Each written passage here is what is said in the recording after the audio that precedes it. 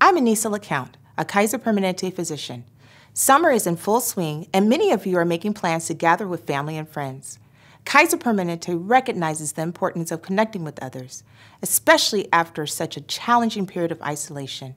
So here are four tips to stay safe and healthy this summer. Number one, know you're healthy before you go. Check for symptoms such as fever, cough, shortness of breath, chills or shaking chills, muscle pain, headache, sore throat, or a new loss of taste or smell. If you or anyone in your family has these symptoms, please stay home and call your doctor.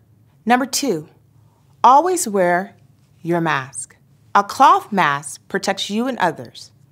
Nearly half of COVID 19 transmissions are traced to someone unaware they're infected. If you are carrying COVID 19 without symptoms, a cloth mask can significantly reduce the risk that you will transmit the infection to others. A mask also keeps you from touching your face if you do come in contact with the disease. Number three, social distance. The surest way to protect yourself and loved ones is to maintain at least six feet of physical distance from anyone outside of your immediate household. Remember that even with safe distance, you still need to wear your mask. Number four, practice good hand hygiene. Be prepared with adequate supplies of soap and water, hand sanitizer that's at least 60% alcohol, paper towels, tissue, and disinfectant wipes.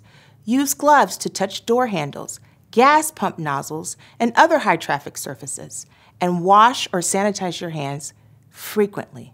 Be mindful that as communities reopen, we are already seeing spikes in transmission of COVID 19 some of which are significant. Local and state governments may need to reinstate stay at home orders if the resurgence of cases worsens.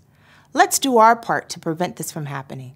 As you have fun this summer, we urge you to be safe and stay healthy so we all can thrive. Thank you.